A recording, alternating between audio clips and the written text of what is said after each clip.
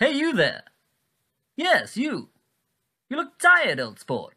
Fatigued. A tad downtrodden, perhaps. What's the matter, chum? Cat got your tongue? Or is it something else? A broken heart? No? No, that's not it. Indigestion. A case of the heebie-jeebies? I know. It's domestic malady, isn't it? A deep sense of ennui?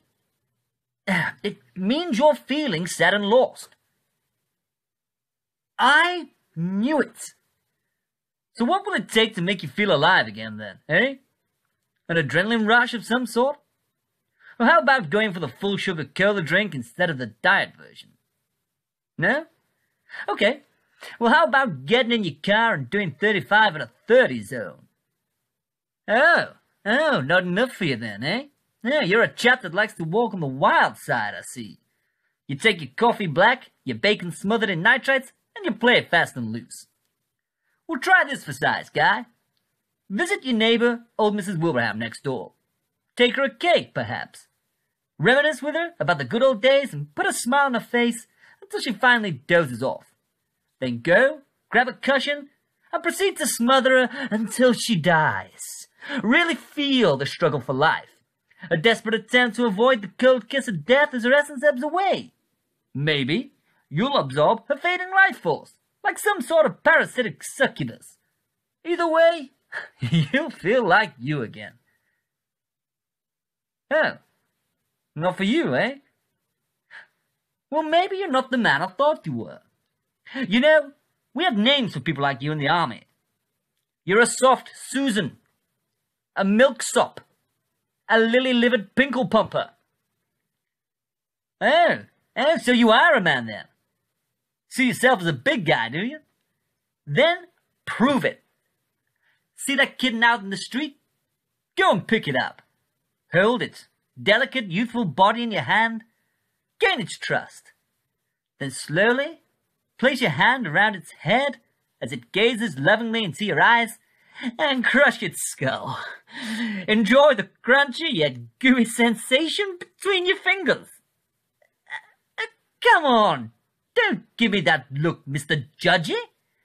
Hey, wait, where are you going? No, wait, wait, I- I've got more ideas. We could blind a rhinoceros at the zoo.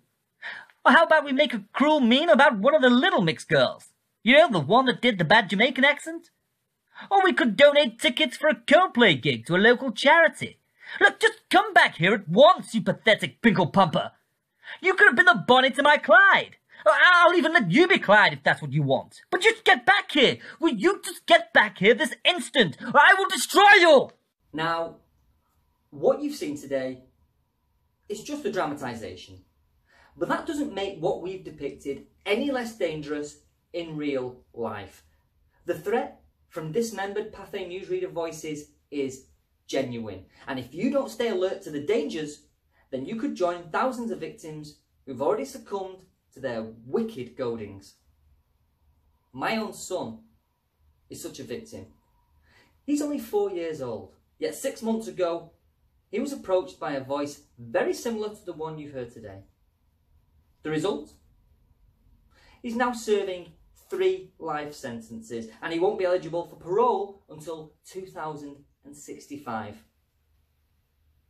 He doesn't even know how to tell the time yet, which is probably a good thing because he's going to be there for a long time. But still, let that sink in.